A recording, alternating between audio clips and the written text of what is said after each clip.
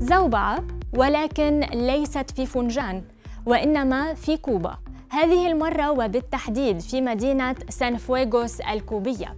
الزوبعة لم تستمر أكثر من عشر دقائق ولم تتسبب في أي تلفيات ولم يكن من المتوقع حتى أن تتسبب في أضرار. وذلك لأن من خصائص الزوابع المائية أنها تحدث في مسطح مائي لكنها لا تصل إلى اليابسة أبداً. صحيح أنها من الممكن أن تتسبب في أضرار للسفن والطائرات في محيطها لكن الأمر سلم هذه المرة. وعلى الرغم من أن الأمر لم يستغرق سوى دقائق إلا أن رواد مواقع التواصل الاجتماعي استطاعوا تصوير الظاهرة ونشروا العديد من الفيديوهات لها على مواقع التواصل الاجتماعي وشبهوها بالغزو الفضائي. فلنشاهد الفيديو.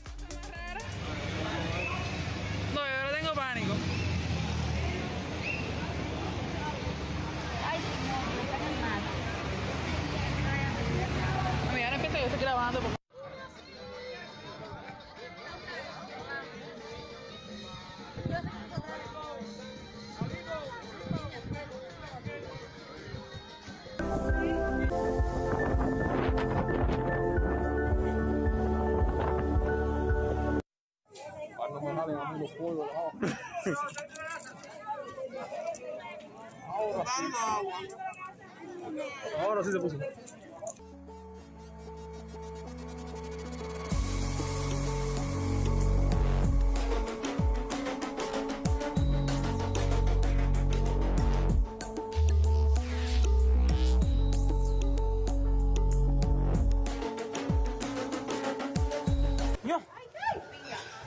Giselle, estoy grabando.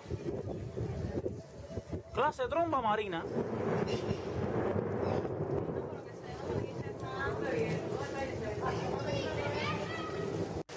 Sí.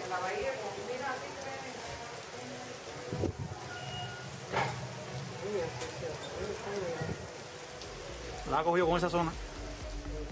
Pero va y sube y no acaba de, de desarrollarse.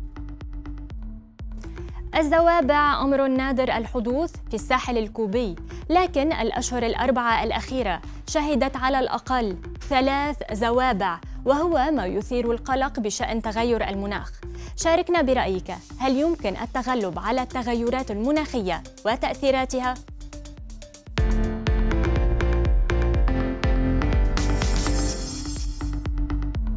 قصصنا لا تنتهي ولكن انتهت حلقتنا لهذا اليوم. تابعونا من الأحد إلى الخميس في تمام الساعة الثالثة والنصف بتوقيت القاهرة الواحدة والنصف بتوقيت غرينتش. وإن فاتتكم قصص اليوم يمكنكم مشاهدتها على صفحات البرنامج على فيسبوك وتويتر. إلى حلقة جديدة من شير إلى اللقاء.